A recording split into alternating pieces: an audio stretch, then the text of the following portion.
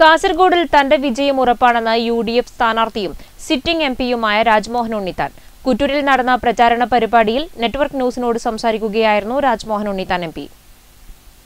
Sir ഇപ്പം പര്യടനം നടക്കുന്നു പ്രചരണം നടക്കുന്നു വളരെ തകൃതിയായി തന്നെ. അപ്പോൾ എത്രത്തോളമാണ് സാറിന്റെ വിജയപ്രതീക്ഷ അല്ലെങ്കിൽ എങ്ങനെയാണ് കാസർഗോഡ് മണ്ഡലം ഈ പ്രാവശ്യം ഈ ഇലക്ഷനെ കണ്ടുകൊണ്ടിരിക്കുന്നത്? ഇനി കേവലം നാമമാത്രമായ ദിവസങ്ങൾ മാത്രമേ ഉള്ളൂ പ്രചരണം അവസാനിക്കാൻ. ഞാൻ പരിപൂർണമായ ആത്മവിശ്വാസത്തിലാണ് കഴിഞ്ഞ തവണ എനിക്ക് നാൽപ്പതിനായിരത്തി നാനൂറ്റി മുപ്പത്തെട്ട് വോട്ടുകളുടെ ഭൂരിപക്ഷമാണ് നൽകിയത്. അതിന്റെ ഒരു രണ്ടരട്ടി ഭൂരിപക്ഷം ഇത്തവണ ഞാൻ പ്രതീക്ഷിക്കുന്നു.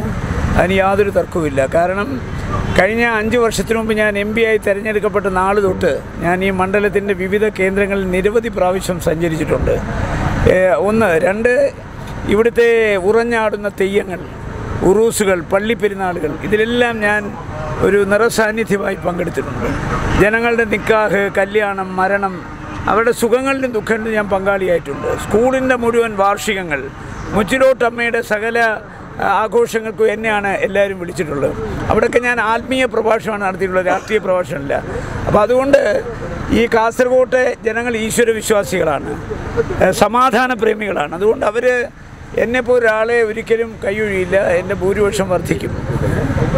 സാർ ഇനി ജയിച്ച് വരികയാണെങ്കിൽ സാർ പറഞ്ഞതുപോലെ കാസർഗോഡിന്റെ രാഷ്ട്രീയ സാമൂഹിക സാമ്പത്തിക രംഗങ്ങളിൽ എന്തൊക്കെ മാറ്റങ്ങളായിരിക്കും ഇനി കൊണ്ടുവരാൻ മാറ്റങ്ങൾ വരണമെങ്കിൽ ആദ്യം ഇന്ന് ഇന്ത്യ ഭരിക്കുന്നവർ മാറണം. ഇന്ത്യ മുന്നണി അധികാരത്തിൽ വരണം. ഇതുവരെ അഞ്ചു കൊല്ലം ഞാൻ പ്രതിപക്ഷത്തായിരുന്നു. കേരളത്തിലും കേന്ദ്രത്തിലും അല്ലേ? അപ്പോൾ ഭരണപക്ഷത്ത് വന്നാലല്ലേ മാറ്റങ്ങൾ കൊണ്ടുവരാൻ പറ്റൂ. ഭരണപക്ഷത്ത് ഇന്ത്യ മുന്നണി അധികാരത്തിൽ വന്നാൽ ഞാൻ അതിന്റെ ഭാഗമാകും. അപ്പോൾ എന്തൊക്കെ ചെയ്യുമെന്ന് നിങ്ങൾ കണ്ടോ?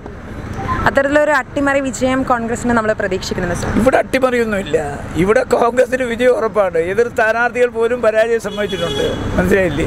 അതുകൊണ്ട് ഇവിടെ അങ്ങനെ നിങ്ങൾ പറയുന്ന പോലെ തീ പാറുന്ന പോരാട്ടമില്ല ടഫ് മത്സരമില്ല പിന്നെ ചില ചാനലുകൾ അത് പെയ്ഡ് ചാനലുകളാണ്. അവരെ ജയിപ്പിക്കാൻ പരിശ്രമിക്കുന്നുണ്ട്. അത് ഈ വോട്ട് എണ്ണിക്കഴിഞ്ഞ് ഞാൻ അവരോട് സംസാരിക്കാം. മനസ്സിലായല്ലോ? അവരെന്തിനു വേണ്ടിയായി പണി ചെയ്തെന്നുള്ളത് ജനവികാരം മനസ്സിലാക്കാത്തവരാണ് ഇതെല്ലാം ചെയ്യുന്നത്. അത് പണത്തിന് വേണ്ടിയിട്ടാണ്. മനസ്സിലായി?